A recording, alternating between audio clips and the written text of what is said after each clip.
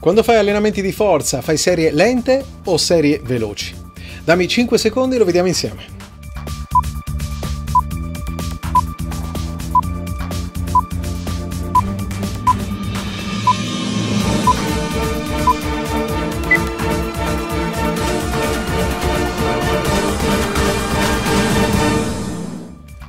Questa forza ovviamente che tutti vorrebbero avere magari c'è chi ha il metodo vincente che riesce ad allenarsi per sviluppare più forza eccetera eccetera.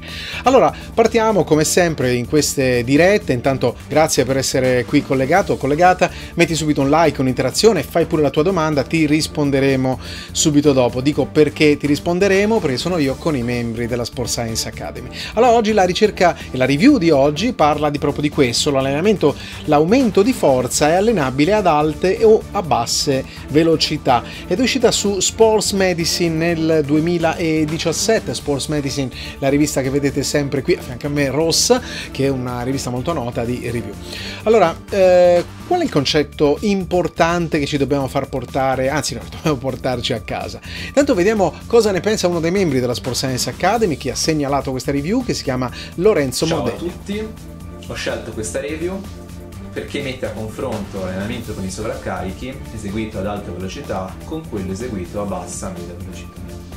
Questa review dimostra che tra le due metodiche il guadagno in termini di potenza è fondamentalmente sovrapponibile, quindi utilizzare un carico più leggero ad alta velocità consente ugualmente di allenare la potenza. Io mi occupo dell'allenamento di sprint e l'allenamento con i sovraccarichi è molto importante per aumentare il valore di forza dell'allenamento. Tenendo conto di queste informazioni ho quindi la possibilità di allenare uno sprinter facendo aumentare la sua potenza, ma senza esasperarne l'ipertrofia, migliorandone così il rapporto peso-potenza.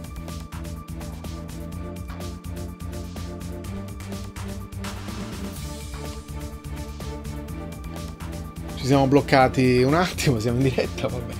Allora, grazie Lorenzo eh, per questa segnalazione. La ricerca è questa: l'aumento di forza è allenabile ad alte e basse velocità.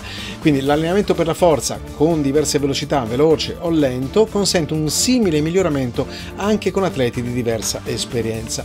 Ma qui viene il ma.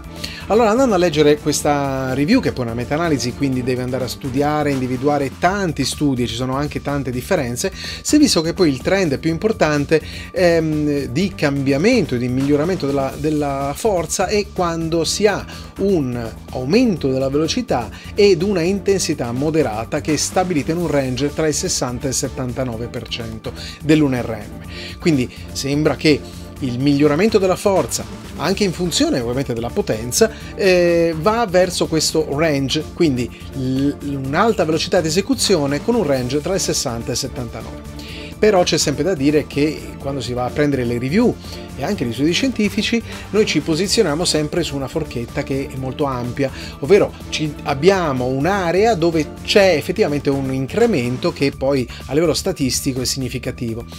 Bene non si può allenare però un ragazzo, una persona con questi parametri, perché ovviamente questa è la media di una popolazione di riferimento. Il trend però ci dice potrebbe essere questa la migliore strada.